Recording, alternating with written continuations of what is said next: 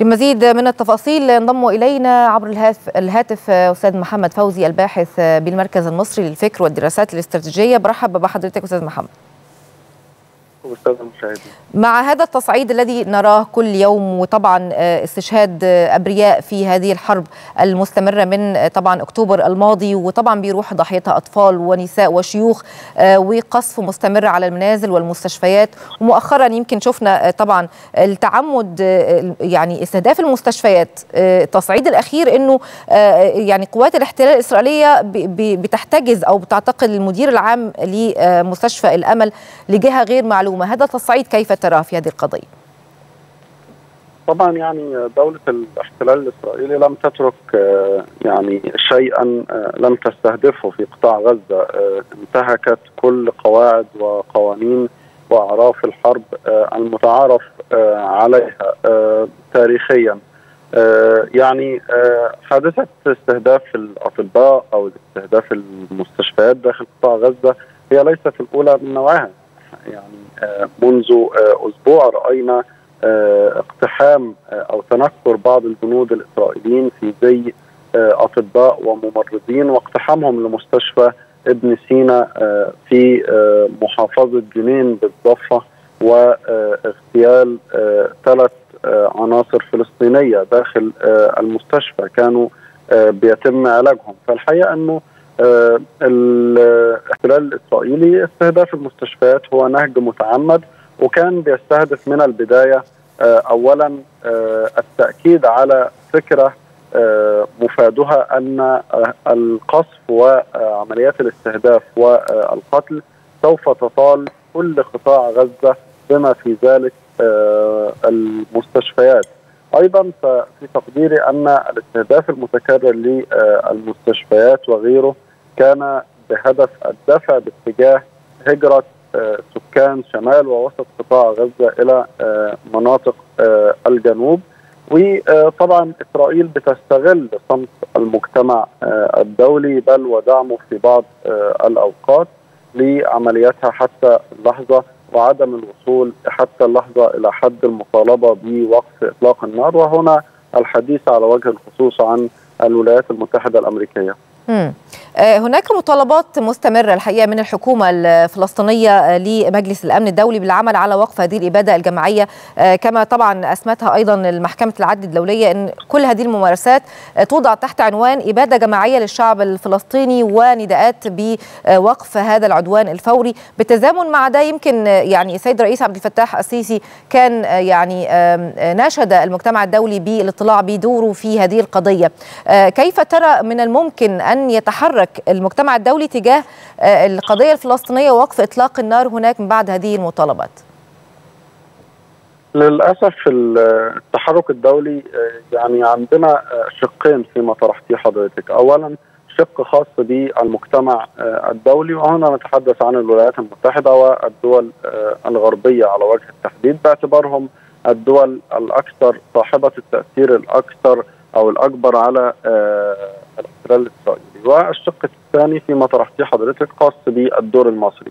إذا كنا نتحدث عن المجتمع الدولي فالحقيقة إحنا بنتكلم عن منظومة لا تخلو من التناقضات منظومة هرولت إلى فرض العقوبات على روسيا فور اندلاع الحرب الروسية الأوكرانية ولكن على العكس تماما بعد ما يزيد على نحو الأربعة أشهر من الجرائم الإسرائيلية داخل قطاع غزة لم نجد أي دولة من الدول الغربية تستنفر كما فعلت مع روسيا لفرض عقوبات على إسرائيل أو محاسبتها على ما ارتكبته من جرائم وصلت إلى وفق العديد من الحكومات والعديد من المنظمات الحقوقية إلى حد جرائم الحرب داخل قطاع غزة.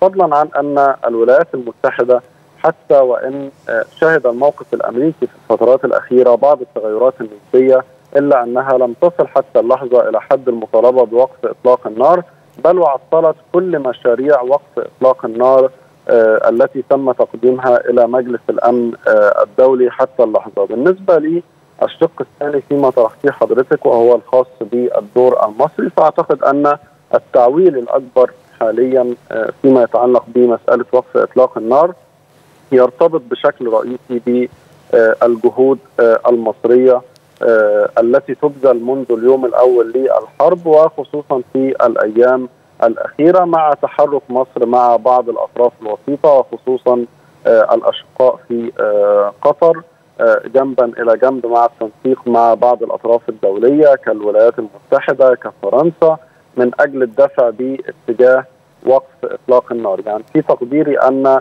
عدم قدرة إسرائيل على تحقيق أهدافها العسكرية حتى اللحظة على قطاع غزة تنامي وطأة الضغوط الدولية على إسرائيل وتنامي عزلتها الدولية. الخسائر المتنامية في الصفوف الجيش الإسرائيلي فضلا عن الأزمات الاقتصادية التي يواجهها الاقتصاد الإسرائيلي نتيجة استمرار الحرب. أعتقد أنها كلها اعتبارات قد تدفع باتجاه يعني انجاح هذه المبادرات والجهود خصوصا في ضوء التداعيات الكارثية التي ترتبت على الحرب في قطاع غزة ليس فقط في داخل القطاع ولكن على مستوى الإقليم ككل. مم. طيب الرئاسه الفلسطينيه ربما دعت مؤخرا الولايات المتحدة الأمريكية لإجبار إسرائيل على وقف عدوانها على قطاع غزة، لماذا الجانب الأمريكي؟ من وجهة نظرك. طبعا لأنه الجانب الأمريكي هو يعني في النهاية كان بينظر للولايات المتحدة منذ اليوم الأول للحرب على أنها الراعي والداعم والمشرف المباشر على العمليات العسكرية الإسرائيلية داخل قطاع غزة وبالتالي فالولايات المتحدة بما تملكه من هذه الرعاية وبما تملكه من مصالح كبيرة استراتيجية مع دولة الاحتلال الإسرائيلي. ويعني هي الدولة الأكثر تاثيرا على صانع القرار في إسرائيل. وهي الدولة الأكثر قدرة على ممارسة الضغوط الفعلية على إسرائيل من أجل وقف إطلاق النار. وأعتقد أن يعني كافة الحكومات في العالم تدرك ذلك. ومن هنا نجد ليس فقط مناشدات الجانب الفلسطيني ولكن نجد أن الجانب الأمريكي حاضر دائما في المباحثات الخاصة بالهدن الإنسانية أو وقف إطلاق النار جنبا إلى جنب مع الأطراف الفاعلة الأخرى في الملف الفلسطيني وعلى رأسهم الدولة المصرية، لكن في تقديري أن الإشكال ليس يعني لا يرتبط فقط ب يعني مسألة يعني مناشدة الولايات المتحدة الأمريكية بخصوص وقف الحرب في غزة، أعتقد أن الولايات المتحدة يعني أيضا لا تضع في اعتبارها حتى مسألة توسع الحرب، إدارة الرئيس الأمريكي جو بايدن تجاوزت العديد من الاعتبارات المهمة ليس فقط على المستوى الأخلاقي من خلال تجاهل حجم الجرائم التي ارتكبت في قطاع غزة ولكن الإدارة الأمريكية لم تلتفت أيضا حتى اللحظة إلى سيناريو أو توسع سيناريو الحرب الإقليمية خصوصا مع التصعيد الذي تشهده الجبهة اللبنانية أو التصعيد الذي يشهده البحر الأحمر إثر العمليات الحوثية والولايات المتحدة في المقابل بدلا من التعامل مع هذه الأزمات بشكل يعني مجمع أو من حيث الأصل بمعنى وقف إطلاق النار في قطاع غزة كنقطة انطلاق لتحقيق الاستقرار في الإقليم. لا وجدنا الولايات المتحدة تسعى إلى تجزئة هذه الملفات والتعامل مع كل منها بشكل منفصل بمعنى التعامل بمقاربة عسكرية مع الحوثيين. والسعي لممارسة الضغوط على الحكومة اللبنانية من أجل تحييد حزب الله عن هذه الحرب دونما إدراك أن نعم. نقطة الانطلاق تبدأ من قطاع غزة. نعم، شكرا جزيلا لحضرتك أستاذ محمد فوزي الباحث بالمركز المصري للفكر والدراسات الاستراتيجية.